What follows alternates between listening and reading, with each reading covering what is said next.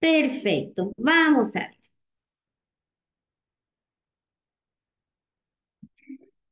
Aquí está el ciclo de estudio que muchos de ustedes ya saben, se compone de 10 sesiones donde todos los días estudiamos un capítulo del libro para la conducción en Chile. Hoy nos corresponde la sesión número 4 que habla sobre la persona en el tránsito. ¿Qué les puedo contar un poco de este capítulo? Es un capítulo súper largo, tiene mucha información, mucha, mucha, mucha, pero nosotros en clases lo que hacemos es un resumen. Muy bien, vamos resumiendo este capítulo y nos vamos centrando en las partes más importantes de este capítulo. ¿ok? ¿Y qué es lo más importante que trae este capítulo? Lo más importante es el tema de alcohol y drogas en la conducción. Alcohol y drogas en la conducción en su examen vale doble puntaje, así que hay que poner mucha atención cuando lleguemos a ese contenido en particular. Muy bien, les recuerdo a todos y a todas, ojalá que lleguen al 90% de su plataforma, ojalá que suban el porcentaje, ojalá que... Eh, que por supuesto traten en lo posible de hacer más de 100 test para que lleguen muy bien preparados a su examen teórico. Vamos a ver cómo nos va. Vamos a iniciar entonces la sesión de estudio. Buenos días también, repito, a todas las personas que ya van llegando este día, a esta sesión. Buenos días.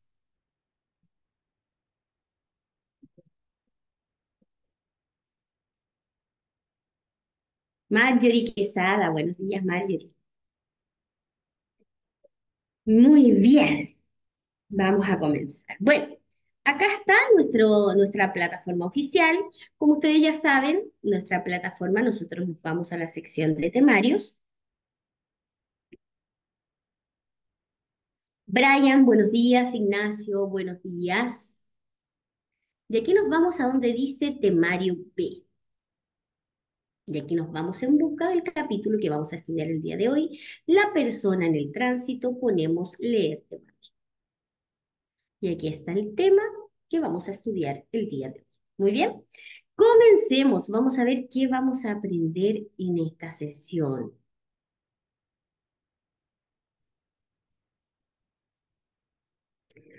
Vamos a aprender y nos vamos a centrar en la figura del conductor del vehículo al que la licencia B habilita manejar. Vamos a tratar los factores que inciden negativamente en las capacidades del conductor y a qué multas y sanciones se enfrenta por la comisión de delitos al volante. Por último, identificaremos los efectos que, entre otros, produce la fatiga, la somnolencia, el estrés o el alcohol en el organismo del conductor. ¿Bien?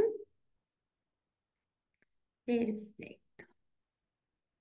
Comencemos. Se dice que la conducción de un vehículo implica grandes exigencias. Comúnmente al conducir las personas olvidan sus limitaciones y capacidades humanas, aunque pueda sonar exagerado. Por esta razón es muy importante que usted esté consciente del actuar de las personas desde su inicio de su formación como conductor. Para ello, los conocimientos que se entregan aquí son fundamentales. ¿Qué nos dicen las estadísticas? Nos señalan que los conductores principiantes tienen 10 veces más siniestros que los experimentados. Y al menos una vez en su vida, las personas se ven involucradas en algún siniestro con víctimas. En este caso, claramente las estadísticas no significa que nos vaya a pasar a todos, ¿ya? Esto es solamente una estadística. Lo importante es comprender que en este caso tenemos, tal como dice esta frase, tenemos que estar conscientes que el actuar nuestro y de las otras personas también eh, dependen mucho de las situaciones que tengamos que sortear en el tránsito. Por lo tanto, es muy importante comprender, conocer, respetar las señales del tránsito. Nos vamos a ir ahora aquí, ustedes van a encontrar un ejercicio que es el acompañamiento de un conductor en su viaje. Yo se los voy a dejar aquí para que ustedes lo puedan ver en un momento de estudio personal y yo me voy a centrar ahora en lo que es la capacidad visual. Vamos a ver. Ver correctamente en diversas situaciones al conducir es muy complejo. de noche con lluvia, de día con sol de frente, hasta factores que parecen simples como los vidrios limpios influyen en la capacidad visual. Eh, la adaptación del ojo a los cambios. La vista humana requiere de un determinado tiempo para adaptarse a los cambios bruscos de luminosidad o ausencia de ella. ¿Qué es la ceguera real temporal? Se puede producir al mirar directamente y por un tiempo prolongado los focos de los vehículos. En este caso, la ceguera real temporal que eh, cuando uno mira los focos de frente, bueno, yo creo que todos hemos visto los focos de frente, sobre todo cuando vienen con luces altas, uno queda con una capacidad visual del 0% durante unos milisegundos. Por lo tanto, es sumamente importante y relevante tomar conciencia de aquello. Por eso se llama ceguera real temporal. Conducir en un túnel puede ser muy complejo al salir de este, pues el ojo requiere un tiempo antes de, ver, con máxima nitidez personal o animales en la vía. En ocasiones puede ser muy difícil visualizar nítidamente a personas o animales en la vía debido a las condiciones de visibilidad y especialmente al tiempo que requiere el ojo para adaptarse a los cambios bruscos. Conviene saber que un abrigo oscuro refleja solo el 5% de la luz, la ropa blanca un 80% y los materiales reflectantes entre un 90 y un 98%. Muy bien, atención con esos porcentajes, pregunta de examen. ¿Qué es la percepción selectiva? Se dice que el cerebro selecciona estímulos o información al conducir, debido a la gran cantidad de estímulos a los cuales se expone un conductor. La selección e interpretación de ellos no es casual, sino que se determina por el estado de vigilancia, necesidades y expectativas. ¿Qué quiere decir esto? La percepción selectiva usted tiene que saber que es una capacidad del cerebro no es una capacidad de los ojos, del cerebro. El cerebro selecciona los estímulos que yo necesito sortear cuando voy conduciendo. ¿okay? Por ejemplo, voy conduciendo, voy mirando hacia adelante, adelante hay un cruce, más adelante viene un ciclista, por el otro costado viene un motociclista, y toda esta visual que, o todo este panorama que yo tengo frente a mí, claramente quien lo selecciona es el cerebro para saber qué tengo que hacer yo al momento de conducir. Si yo no tuviera percepción selectiva, pasaría que estaría mirando, no sé, los pajaritos que están cruzando por el cielo, por el otro lado estaría mirando otras cosas. La verdad es que estaría sumamente distraída en la conducción. Por lo tanto, la percepción selectiva, como les digo, es una capacidad del cerebro. Ahí hay otros ejercicios que se los dejo para que ustedes los puedan visualizar o revisar en otro momento. Nos vamos ahora con la visión directa y visión periférica. La visión periférica junto con la visión directa se complementan en un efecto de compenetración. Es decir, se descubren cosas con la visión periférica y se reconocen con la visión directa. La visión periférica entrega al menos un campo visual de 180 grados. Los conductores experimentados utilizan mucho más su visión periférica que los inexpertos. En este caso, nos entrega un campo visual de 180 grados. Vamos a ver en esta imagen. La visión periférica se dice que es lo que me permite ver, como indica la flecha de color morado, en un campo visual de 180 grados. Y la visión directa es lo que me permite ver hacia adelante con la, el color amarillo. Muy bien. Generalmente cuando uno está aprendiendo ocupa más la visión directa que la visión periférica, pero cuando uno ya tiene experiencia se van complementando estos dos tipos de visión, porque claramente necesitamos ambos para poder ver correctamente. Tenemos también el efecto visión de túnel. Al aumentar la velocidad, el campo visual disminuye. Puede salir más rápido, usted fija mucho más la visión, es decir, comienza a privilegiar la visión directa en desmedro de la visión periférica. La visión de túnel también aparece en situaciones de estrés. ¿Qué quiere decir esto? Que en este caso la visión de túnel está directamente relacionado con la velocidad. Lo que quiere decir también que la velocidad Vamos a ver aquí. Si un vehículo, por ejemplo, circula a 130 kilómetros por hora, el campo visual es de 30 grados, ¿ok? De 30 grados. Estamos hablando del campo visual como indica la letra A. Si usted va a 100 kilómetros por hora, el campo visual es de 42 grados, como indica en este caso la letra B. Si usted va a 65 kilómetros por hora, como indica la letra C, el campo visual es de 70 grados, como indica en este caso la letra C. Y si usted va a 35 kilómetros por hora, como indica la letra D, el campo visual se amplía a 100 grados, como indica la letra, la letra D. Por lo tanto, a menor velocidad, mayor es el campo visual. Y a mayor velocidad, menor es el campo visual. Entonces, la visión de túnel no tiene que ver con conducir adentro de un túnel. Tiene que ver principalmente con eh, tiene que ver principalmente con eh, la velocidad y en este caso el campo visual. Muy bien, perfecto. Nos vamos al siguiente tema que habla sobre la eh, conducción segura y, equilibrio emocional. Fíjese que este tema nosotros tuvimos, tocamos este tema cuando hablamos en el capítulo número uno, ¿ya? ¿Por qué? Porque aquí aparece el, factor de la madurez. Bien, ¿por qué es necesario haber cumplido 18 años o excepcionalmente 17 para poder optar a una licencia de conducir? Porque la sociedad considera que a esa edad las personas conductoras están capacitadas para asumir responsabilidades tan grandes como conducir, tomando en cuenta que en muchos casos la falta de responsabilidad puede llevar a siniestros fatales. Tristemente, la realidad, avalada por los datos, demuestra que los conductores jóvenes son quienes más siniestros provocan. Les recuerdo que en el capítulo número uno nosotros hablamos que el rango de edad o el grupo etario que más siniestros provocan son entre los 18 y los 29 años. Y el factor primordial del por qué sucede esto tiene que ver principalmente con la madurez. ¿Muy bien? Ahora, son los que más siniestros provocan, pero también son los que más fallecen. Muy bien, y tiene que ver principalmente con la baja percepción del riesgo. Fíjese que las personas, todos nosotros pasamos por esa edad. A lo mejor hay alguno que acá que está conectado que es súper joven, eh, y los que somos más mayores también, no, yo me acuerdo, o sea, a los 18 años uno tiene muchos menos miedos de los que tienes, no sé, a los 40, a los 50 años, ¿verdad? Entonces uno tiene menos miedos, tiene más capacidad en este caso de arriesgarse frente a ciertas situaciones. Por lo tanto, eh, claramente eh, habla sobre eso. Vamos a ver, ¿cuáles son los principales factores que explican la alta siniestralidad en los conductores jóvenes?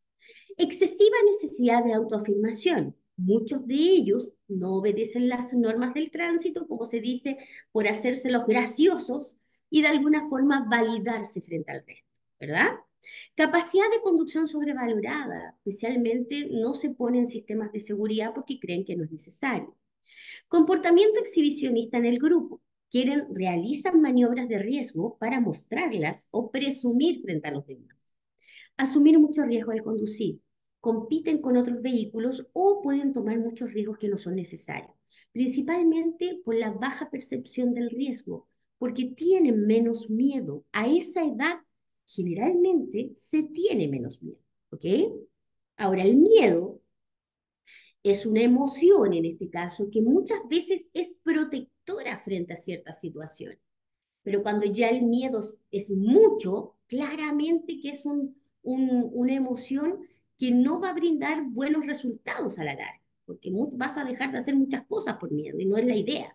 Pero sí hay que tener cierto punto de miedo para poder protegerse frente a ciertas situaciones, ¿verdad? Influencia de la publicidad, puntualmente la que fomenta riesgos. ¿Cuáles son los cinco factores que influyen en la evaluación y aceptación del peligro? Actitud frente al tránsito. No consideran la conducción como si fuera algo peligroso. ¿Ok? Como ya decíamos, menos miedo. Nosotros cuando tenemos acá en la escuela jóvenes, gente bastante joven, 18, 20 años, la verdad es que aprenden a conducir súper rápido. Eh, y es porque efectivamente mm, hay menos temores, ¿verdad?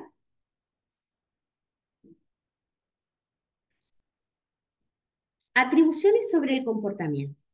Creen que conducen mejor que los demás. Experiencia en la conducción. Muchos no tienen demasiada experiencia en la conducción.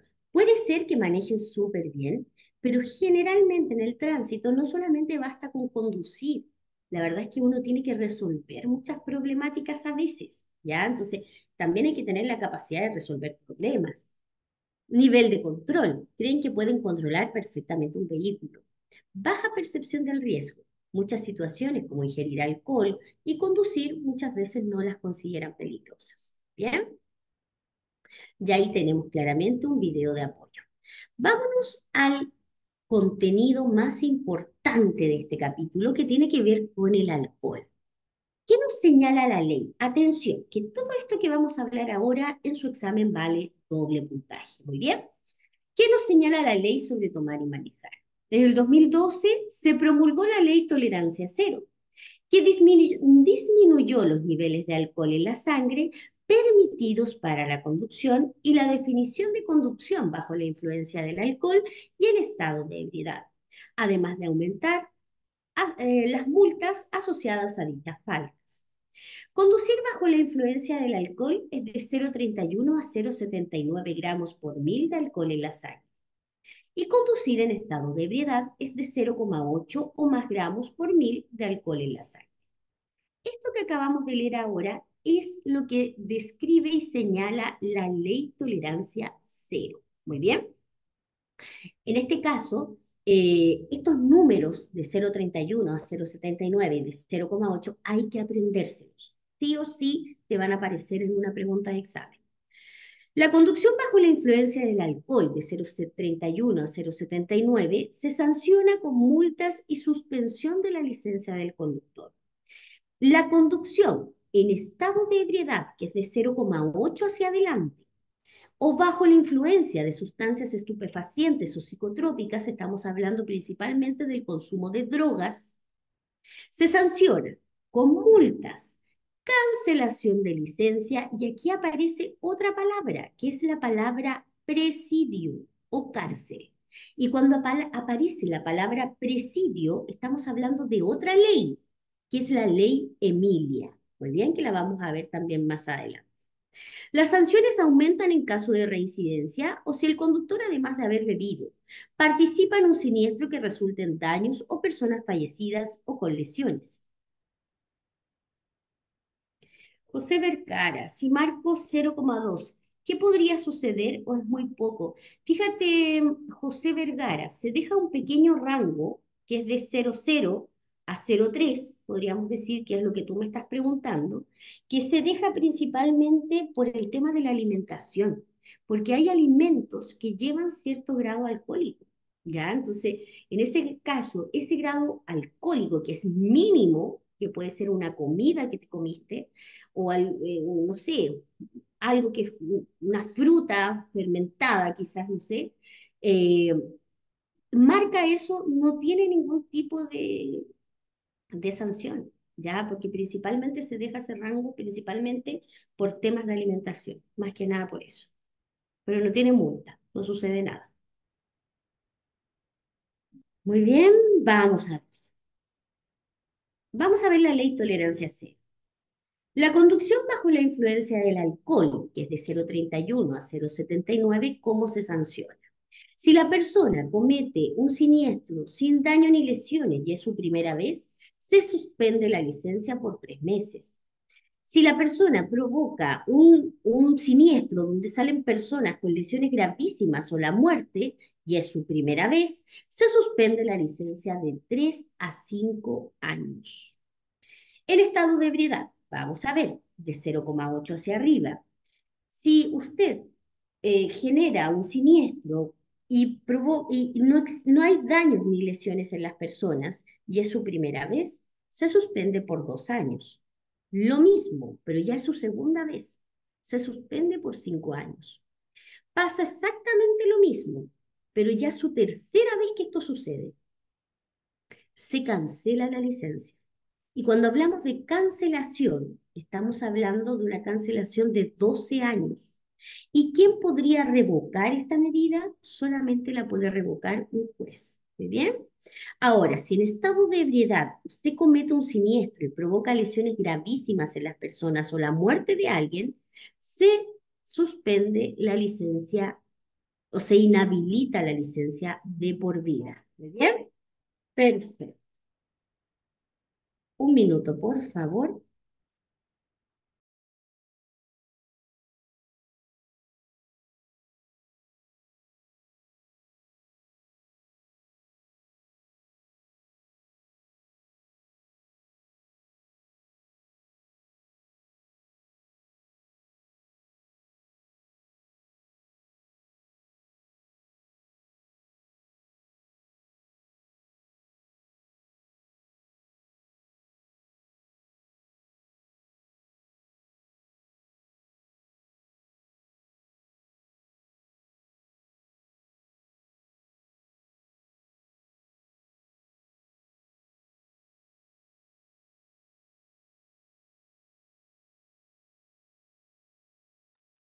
Muchas gracias por la espera. Continuamos entonces. Vámonos ahora a la ley Emilia. La ley Emilia en este caso sancionó como delito lo siguiente. Lesionar gravemente o provocar la muerte de alguien. Negarse a realizar el alcotés o la alcoholemia. Y fugarse del lugar del accidente. Estas tres acciones se sancionan como delito. Cuando hablamos de la palabra delito, estamos hablando de una pena de cárcel. Muy bien. Eh, la ley Emilia solamente actúa en caso de estado de ebriedad. Solamente actúa en ese caso. Muy bien. No actúa en otro caso. No actúa bajo la influencia del alcohol. Ahora, ¿qué nos dice la ley Emilia? Primero, si el conductor va en estado de ebriedad, provoca un siniestro y provoca lesiones gravísimas en las personas, la cárcel efectiva va a ser de al menos un año. Cuando hablamos de cárcel efectiva es cuando se realiza el proceso investigativo de, lo que sucedió y la pena de cárcel final puede llegar de tres años y un día a cinco años. Si la persona conduce en estado de ebriedad y provoca la muerte de alguien, la pena de cárcel efectiva puede ser de al menos un año. Y la pena de cárcel puede llegar de tres años hasta los diez años. Se considera también delito calificado, que es un delito con agravante, que es bastante más grave. ¿okay? Si la persona conductora en este caso va en estado de ebriedad, pero esta persona conductora además es un conductor con licencia cancelada o inhabilitada, o es un conductor reincidente, o es un conductor profesional, en estos casos se considera como delito calificado, o sea, la pena va a ser más alta. Muy bien. Entonces, súper importante que usted sepa que la ley Emilia solamente actúa en estado de ebriedad. La ley tolerancia cero actúa en ambas, en bajo la influencia del alcohol y en estado de ebriedad. Bien, eso es muy importante. Cuando se ingiere alcohol, aumentan las infracciones a las normas del tránsito por dos motivos, porque las capacidades se ven deterioradas o disminuidas o porque se tiene un menor sentido de la responsabilidad y la prudencia. ¿Cuáles son los efectos del alcohol en el organismo? Principalmente el principal afectado es el cerebro, afecta la atención y el procesamiento de la información y percepción. La capacidad de reacción con alcohol sí se ve afectada y puede producir resultados catastróficos. El estado de ánimo con alcohol se ve perturbado, sí se ve perturbado y pues eh, claramente se influye también, por ejemplo, en el tiempo de reacción. Y la reducción de la visión, principalmente lo que se reduce es la visión periférica, que es el ángulo de 180 grados. La visión directa puede funcionar, pero lo que se ve afectado es la visión periférica. La única tasa de alcohol segura para conducir es cero. Si va a conducir, evite el consumo de alcohol y si bebe, no conduzca. busque otra vía o alternativa para transportarse. ¿Cómo varía la tasa de alcohol en la sangre? La alcoholemia es la muestra de sangre que se toma para poder saber el nivel alcohólico que tiene la persona. La prueba espirométrica es la prueba que se sopla, muy bien, es la que ocupa Carabineros de Chile. ¿Y cuáles son los factores de variación de alcohol en la sangre? Primero, la cantidad de alcohol consumida. No es lo mismo tomarse una lata de cerveza que tomarse tres, por ejemplo. La masa corporal, a menor peso, se dice que mayor es la tasa de alcohol en la sangre. El sexo con la misma cantidad de alcohol ingerida es muy probable que las mujeres tengan mayor alcoholemia que los hombres. ¿Por qué? Porque nuestro proceso metabólico es distinto. Muy bien. La duración de la ingesta, al beber en poco tiempo, la tasa de alcoholemia también puede ser superior, como muestra este gráfico que vamos a ver a continuación. Este gráfico nos indica lo siguiente que, por ejemplo, el periodo de ingestión, una persona consume alcohol durante tres horas. Consume bastante alcohol, podríamos hablar, acá estamos hablando de litros o gramos, estamos hablando en este caso casi dos litros de alcohol, podría ser, y consume en este caso durante tres horas bastante alcohol. La persona después se va a un reposo nocturno, en este caso, se va a un reposo nocturno. Recuerden que la meseta en este caso es el punto máximo de alcoholemia. La persona descansa durante 8 a 9 horas. descansa, el grado alcohólico comienza a bajar, pero no desaparece. La persona despierta, se va a trabajar, ya han pasado, en este caso, 16 horas de que comenzó a consumir. Todavía hay 0,5 en la sangre. Finalmente, pasan 19 a 20 horas para que el alcohol salga completamente de la sangre. Vamos a ver. La detección de alcohol en la sangre se detecta a los 5 minutos de haber ingerido. La liberación de alcohol en la sangre, el cuerpo metaboliza el alcohol y dicho proceso no se puede acelerar. Los remedios caseros, como el café, la ducha fría, el cigarrillo, ejercicios físicos, solo transforman a una persona borracha adormecida en una persona borracha despierta. Dormir algunas horas puede ser no suficiente. El alimento ingerido, esto sí reduce el alcohol en la sangre. El alcohol, también mezclado con bebidas carbonatadas, fomenta la absorción por el estómago y en este caso puede aumentar la alcoholemia. La edad, mayores de 65 y, y menores de 18 años, son el grupo que percibe más fuertemente los efectos del alcohol. Los conductores de menor edad están en mayor riesgo al conducir bajo la influencia del alcohol, pues aún no han automatizado muchos movimientos. Atención con la edad, pregunta de examen. Y ahí tenemos claramente un video de apoyo. Vámonos con las drogas y los estupefacientes. Al igual que el alcohol, el consumo de drogas afecta gravemente a los conductores al momento de conducir, pues los pone en grave riesgo. La mayoría de las drogas disminuyen o eliminan la percepción, cognición, atención, equilibrio, tiempo de reacción y otras facultades necesarias para la conducción. Las drogas generan dependencia física y psicológica. Las drogas más consumidas en la actualidad son la marihuana, la cocaína, el éxtasis, las anfetaminas y los alucinógenos. ¿Cómo afectan las drogas a la conducción? Atención con esto. ¿Qué drogas provocan dificultad para calcular distancias? La marihuana, la cocaína, el éxtasis y la pasta base. ¿Qué drogas generan distracciones al volante por falta de concentración? La marihuana, la cocaína, el éxtasis y la pasta base. Aumento en el tiempo de reacción la marihuana. Pánico durante la conducción, el éxtasis. Alteración de la percepción del entorno, la marihuana, la cocaína, el éxtasis y la pasta base. Comportamiento más competitivo o agresivo con los demás conductores, quien lo provoca, la cocaína, el éxtasis y la pasta base. Impulsividad para enfrentar imprevistos, quien lo provoca, la cocaína, el éxtasis y la pasta base vamos a ver cuáles son las enfermedades que afectan la conducción. Las enfermedades que afectan la conducción se clasifican en tres grupos. ¿Cuáles son? Las enfermedades cardíacas, las enfermedades respiratorias y las enfermedades neurológicas o también llamadas trastornos mentales. Los primeros, las cardíacas, pueden ser hipertensión arterial, arritmia, angina de pecho, infarto, insuficiencia cardíaca. Las enfermedades respiratorias son la rinitis alérgica, gripe resfriado común, asma bronquial, bronquitis crónica, apnea obstructiva del sueño.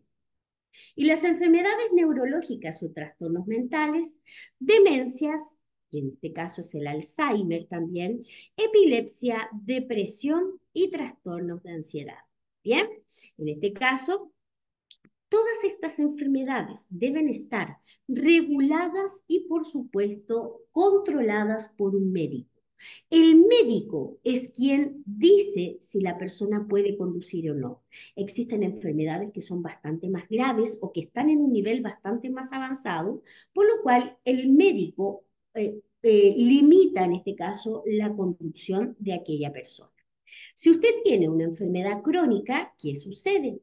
Debe conocer muy bien su enfermedad, debe tener muy claro cuáles son los efectos de los medicamentos de su tratamiento, debe reconocer los síntomas de una crisis, no conducir durante una crisis o fase compleja, debe seguir todas las instrucciones médicas y no beber alcohol mientras toma medicamentos. Muy bien, todas estas recomendaciones debe seguir. Vámonos al último tema que vamos a hablar hoy día, que habla sobre el cansancio, el sueño y la fatiga. El cansancio, sueño y fatiga son estados habituales de la vida cotidiana.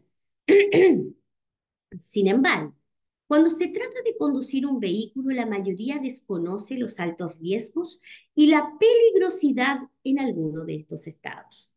Colisiones por alcance, salidas de la vía, colisiones frontales, son las consecuencias más comunes de conducir con cansancio, sueño y fatiga. ¿Qué pasa cuando usted conduce cansado o con sueño? Entre el 15 y el 30% de los siniestros de tránsito están asociados al cansancio y sueño de los conductores, incluyendo muchos con consecuencias graves. Los siniestros no ocurren solo porque un conductor quede totalmente dormido, sino que solo es necesario pestañear con mucho cansancio para estar en riesgo de un grave siniestro. Cansancio y sueño son las principales causas de siniestros entre un 15 y un 30%, especialmente los ocurridos en carretera. ¿Cuáles son los efectos del cansancio y sueño en la conducción? Primero, se disminuye la capacidad de reacción. Claramente, la persona que va adormecida le cuesta más reaccionar. Mayor cantidad de distracciones al volante porque se dificulta la concentración. Alteración del juicio y toma de decisiones. El sueño y el cansancio hace que las personas se demoren más en tomar decisiones. Alteración de la movilidad y empeoramiento de la coordinación motriz debido a que los músculos se relajan y claramente cuesta más moverse, podríamos decirlo así. Aparición de microsueños, estos pestañazos donde las personas pestañean durante tres segundos y puede ocurrir una fatalidad. Alteración de la percepción, la visión se puede tornar borrosa y no ver precisamente lo que necesitamos ver. Cambios en el comportamiento. Una persona con sueño puede llegar a ser una persona agresiva y hostil muchas veces. Ahora, ¿cuáles son los factores que favorecen la aparición del sueño? Principalmente la hora del día. Se dice que entre las 3 y las 5 de la mañana y entre las 2 y las 4 de la tarde son las horas donde más sueño tenemos. En este caso, les recuerdo que en este caso, no sé, pues después del almuerzo, cuando más sueño da, ¿verdad? Son las horas de mayor somnolencia. Dormir menos de lo habitual es una de las principales causas de somnolencia. En este caso, cuando se duerme incómodo, no se duerme bien. Los turnos, las personas que trabajan por turnos tienen periodos de somnolencia, ya que tienen una higiene del sueño que es bastante relativa, ¿verdad? Sueño ligero. El tener un sueño ligero no se alcanza un sueño profundo y no se descansa correctamente. El tránsito monótono, por ejemplo, recorrer una larga distancia y donde el camino siempre es igual. La verdad es que es bastante aburrido a veces. Y en este caso, claramente hay que, hay que detenerse y descansar en ciertos tramos. Consumir sedantes y estimulantes, como el alcohol, medicamentos y comidas abundantes. Tomar bebidas estimulantes, como el café, las energéticas, ¿cuál, es el peligro? Que tienen un efecto inmediato, que te pueden despertar, pero al cesar su efecto, claramente que la somnolencia puede ser mayor. Los trastornos del sueño, como el insomnio, provoca fuertes somnolencias durante el día, que constituyen un gran peligro al conducir. Bien. Perfecto. ¿Y qué recomendaciones nos da el libro para la conducción en Chile? Nos dice que si al conducir usted tiene sueño o está cansado, debe detenerse y descansar por lo menos 20 o 30 minutos en un lugar adecuado. Esto va a disminuir los riesgos de siniestro. Ojo, que el lugar donde usted descanse tampoco puede ser cualquier lugar, no se puede poner a descansar en la verma, tiene que buscar un lugar de descanso que sea seguro y que de alguna forma no vaya a entorpecer el tránsito de las otras personas. Generalmente los servicentros tienen habilitados zonas de, descanso. Cuando conduzca largas distancias, cada dos horas, descanse entre 20 o 30 minutos o cada 200 kilómetros de conducción.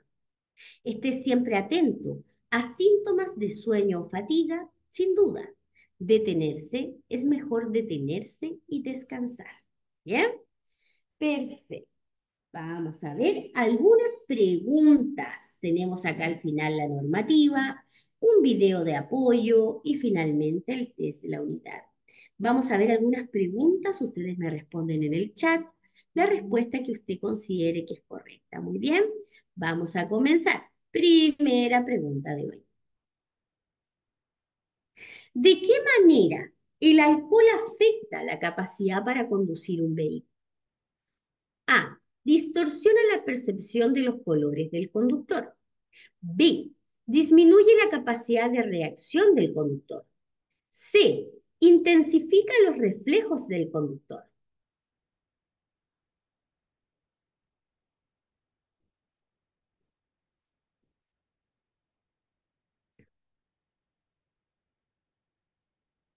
Cuál es la alternativa que ustedes consideran que es correcta.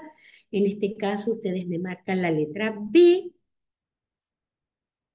y eso es correcto. Un conductor que sea sorprendido conduciendo bajo la influencia de sustancias estupefacientes o psicotrópicas, se le suspenderá la licencia de conducir por un periodo de A. Dos años. B. Cuatro años. C, tres años. D, cinco años.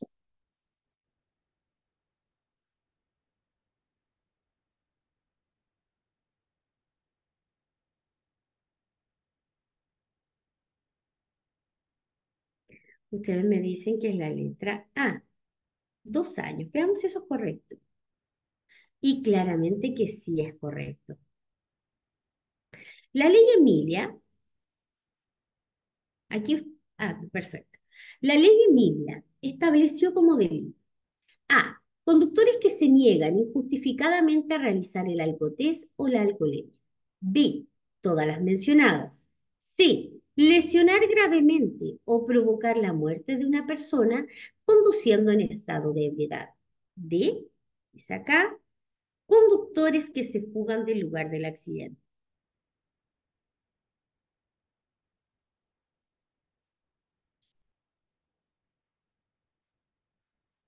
Ustedes me dicen que es la letra B. Todas las mencionadas y eso es correcto. Muy bien. Por último, ¿qué pregunta tenemos ahora? La ceguera temporal nos deja con una capacidad visual de A, 0 metros, B, 10 metros, C, 3 metros.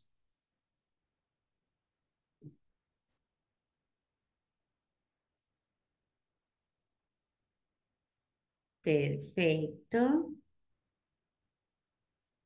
Ustedes me dicen que es la letra A. Cero metros y eso es correcto. Muy bien. Felicitaciones quienes tuvieron estas preguntas correctas. Hemos llegado al final de este capítulo. Quiero contarles, a ver, ¿qué nos toca mañana? Bueno, hoy día a, a las 21 horas les recuerdo que se repite, por supuesto, este capítulo para todos ustedes si alguien quiere repetir la información. Mañana, mañana viernes, ya nos vamos con las y los usuarios vulnerables. Este tema de mañana es un tema súper importante también porque vamos a hablar sobre el sistema de retención infantil. Y cuando hablamos del sistema de retención infantil, estamos hablando de un capítulo que vale doble puntaje. Muy bien, así que eh, es un capítulo súper importante. ¿Ok? Listo, que tengan un excelente día. Eh, nos volvemos a encontrar mañana y los que se repiten a las, a las 21 horas, nos volvemos a encontrar, por supuesto, en ese horario. Que tengan un hermoso día. Bueno, que estén súper bien. ¿De qué, pues, Verónica? Que estén súper bien. Nos vemos prontamente. Que tengan un lindo día. Chao, chao.